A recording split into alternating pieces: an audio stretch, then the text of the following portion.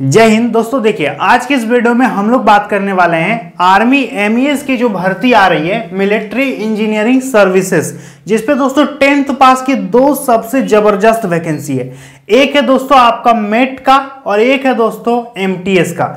ऐसे तो इस पर टोटल सात प्रकार का सीट है, लेकिन उस सब में क्वालिफिकेशन थोड़ा थोड़ा अलग अलग मांगा गया है। लेकिन ये दो ऐसे पोस्ट हैं जिसपे सत्ताईस हज़ार सीट है और ग्यारह हज़ार तीन सौ सोलह वैकेंसी है। कहने का मतलब 90 परसेंट वैकेंसी ऐसा है जिसपे सिंपल क्वालिफिकेशन मांगा है केवल टेंथ पास। तो ये वैकेंसी आखिर कब से अप्लाई होगी और इसके बारे में आपने पिछली वीडियो में जितना भी क्वेश्चन पूछा है, जैसे कि सर एमटीएस में हाइट चेस्ट मेज़रमेंट वगैरह करेगा कि नहीं करेगा, इसका फ़िज़िकल में क्या क्या एलिजिबिलिटी है सिलेबस में क्या अभी से पढ़ना होगा, नहीं पढ़ना होगा कब से इसका फॉर्म भराएगा? तो सारा ए टू जेड आपको यहाँ पर बताएँगे। आप लोग वीडियो पर लास्ट तक बने रहिएगा। तो ध्यान दीजिएगा दोस्तों, देखिए army M E S recruitment 2023 ठीक है? दोस्तों, जैसा कि आप लोगों को पता है कि 17 जुलाई, ठीक है? 17 जुलाई 2023 को इसके द्वारा एक शॉर्ट नोटिफिकेशन जारी किया गया है। जैसा कि आप लोगों को हम पिछले वीडियो में दिखाए थे 17 जुलाई को एक नोटिफिकेशन जारी किया गया है। उसके अकॉर्डिंग दोस्तों कितना कितना सीट बताया गया है, ध्यान दीजिएगा। टोटल पद की बात करेंगे तो इकतालीस टोटल सीट है। ठीक है? इकतालीस सीट है। योग्यता की बात करेंगे तो दसवीं पास यदि आप हैं तो आप इसके लिए फॉर्म भर पाइएगा। ठीक है? मेल और फीमेल दोनों भर सकते हैं। समझ में आ गया? ऑल इंडिया की वैकेंसी है। और हाँ आप लोगों का बहुत बड़ा कंफ्यूजन है कि सर, क्या ये अग्निवीर वाला वैकेंसी है क्या? तीन चार साल के लिए है। बिल्कुल नहीं। This is your permanent government job आपका इस सरकारी वैकेंसी है हमेशा के लिए। समझ में आ जो भी आपका टाइम लिमिट रहता सरकारी नौकरी का उतना दिन तक आपका नौकरी रहेगा। ऐसा नहीं कि तीन साल, चार साल, अग्निवीर वाला सिस्टम नहीं है इस पर ठीक है? ये परमानेंट वैकेंसी है। वेतन देख लीजिए, उनतीस हज़ार से आपका सैलरी स्टार्ट होगा और आगे चल के सैलरी दोस्तों काफ़ी बढ़ जाता है। पचास साठ तक आपका सैलरी जाएगा। उम्र देख लीजिए। कम से कम 18 साल तो होना चाहिए फॉर्म भरने के लिए। अधिक से अधिक 25 साल प्लस में रिलैक्सेशन मिलेगा। किसको किसको रिलैक्सेशन मिलेगा? जो जो विद्यार्थी ओबीसी कैटेगरी से हैं, उनको तीन साल का छूट मिलता है। एस सी एस वालों को पाँच साल का एज में छूट देखने को मिल जाएगा। रिलैक्सेशन देखिए ओबीसी तीन साल एस सी एस साल।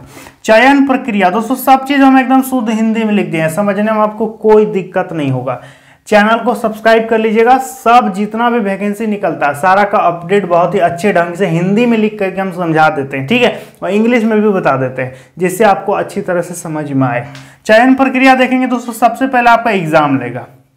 सबसे पहला प्रोसेस है परीक्षा आपका होगा। इसके बाद आपका फ़िज़िकल होगा, शारीरिक दक्षता परीक्षा जिसको बोलते हैं, इसके बाद आपका कागजात का सत्यापन होगा। जितना भी आपका डॉक्यूमेंट है मैट्रिक का इंटर का, जो भी होगा, जाति, निवासी, सारा चीज़ आपका इस पर सत्यापन करेगा। इसके बाद आपका मेडिकल होगा, जिसको बोलते हैं चिकित्सकीय जाँच होगा। इसके बाद दोस्तों फाइनली आपका ज्वाइनिंग हो जाएगा। तो मेजर तीन चार प्रोसेस है, जिसके होकर के आपको गुजरना पड़ेगा फाइनल सिलेक्शन तक।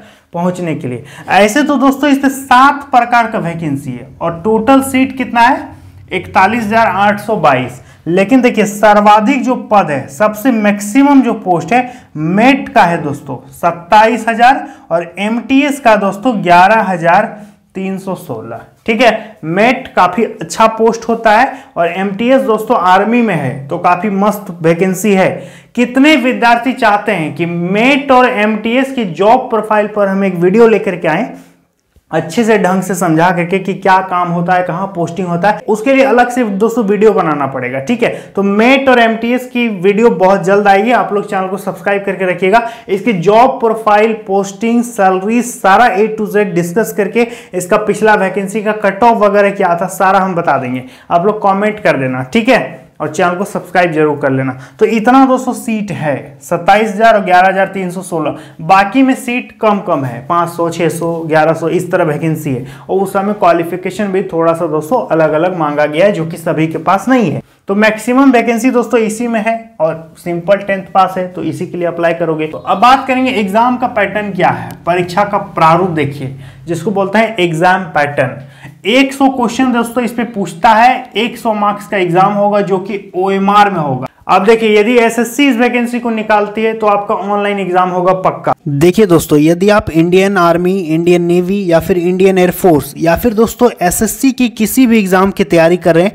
तो मैं आपको रिकमेंड करूँगा दोस्तों एसके बुक्स यानी श्री कृष्ण पब्लिकेशन का दोस्तों ऑफिशियल यूट्यूब चैनल तो एसके बुक्स के ऑफिशियल यूट्यूब चैनल से दोस्तों आप इन सारे एग्ज़ाम्स का तैयारी घर बैठे कर सकते हैं। यहाँ पर दोस्तों, अनुभवी टीचर के द्वारा आप लोगों को पढ़ाया जा रहा है और दोस्तों नए नए वीडियोस भी अपलोड किया जा रहा है, जो कि नए सिलेबस नए पैटर्न के आधार पर किस तरह का क्वेश्चन आने वाला है, किस हिसाब से आपको तैयारी करना है, सारा चीज़ दोस्तों यहाँ पर बताया जाएगा। और इस चैनल पर दोस्तों केवल आप लोगों को पढ़ाया जाएगा। ये चैनल स्पेशल दोस्तों तैयारी के लिए है तो आप यूट्यूब में सर्च कर लीजिएगा एसके बुक्स यानी श्री कृष्ण पब्लिकेशन का दोस्तों ऑफिशियल यूट्यूब चैनल है। आप इनके यूट्यूब चैनल को सब्सक्राइब कर सकते हैं। नीचे डिस्क्रिप्शन बॉक्स में हमने लिंक दे दिया आप डायरेक्ट जा करके सब्सक्राइब कर लीजिएगा। और दोस्तों डेली क्लासेस लेकर के अपना तैयारी कर सकते हैं। और यदि आर्मी एमईएस के द्वारा इसका भर्ती कराया गया तो दोस्तों आपका ऑफलाइन एग्ज़ाम होगा, ठीक है? तो दोस्तों पिछला यदि देखा जाए तो ओएमआर में ही एग्ज़ाम हुआ था और ज़्यादातर संभावना है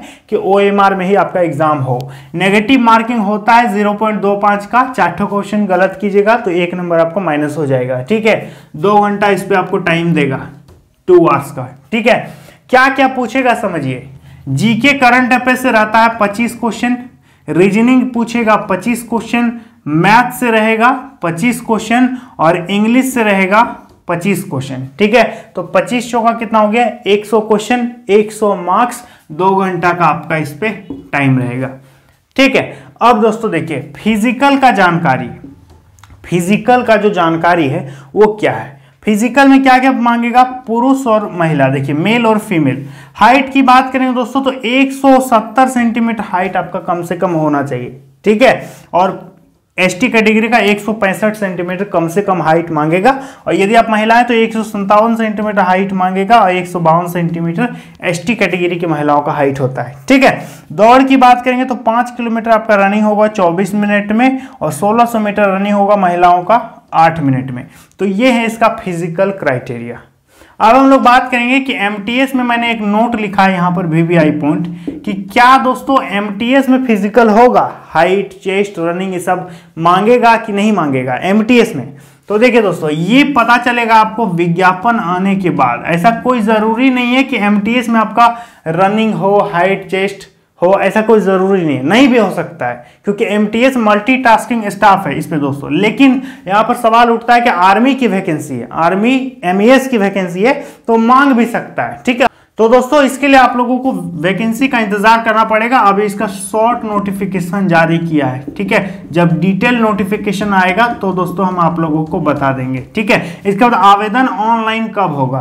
तो देखिए दोस्तों, एक सप्ताह के अंदर दोस्तों वैकेंसी आ जाएगा। तो इतना मान के चलिए कि जुलाई जैसे जैसे खत्म हो जाएगा वैकेंसी आपका आ जाएगा, ठीक है? जुलाई खत्म होते होते आपका विज्ञापन बहुत जल्द निकल के आने वाला है। तो एम की भर्ती दोस्तों, बहुत जल्द आ रही है। तो कौन कौन विद्यार्थी इसके लिए फॉर्म भरने वाले हो? कमेंट बॉक्स में ज़रूर बताना। काफ़ी बढ़िया वैकेंसी होता है और सीट भी काफ़ी बढ़िया दोस्तों। अब देखो, इसको कौन कंडक्ट करवाता है? एसएससी कराता है कि यूपीएससी कराता है? या फिर आर्मी एमईएस के द्वारा खुद लिया जाता है इसका विज्ञापन? ऑनलाइन अप्लाई सिलेक्शन प्रोसेस कौन करेगा? तो सारा धीरे धीरे पता चल जाएगा। आप लोग चैनल पर बने रहिएगा, सब्सक्राइब कर लीजिएगा। टेलीग्राम ग्रुप में हम इसका जो शॉर्ट वाला नोटिफिकेशन है, उसको भी शेयर कर देंगे। ठीक है? तो उम्मीद करेंगे सारा चीज़ समझ में आ गया होगा। मिलेंगे अगले वीडियो में। जय हिंद।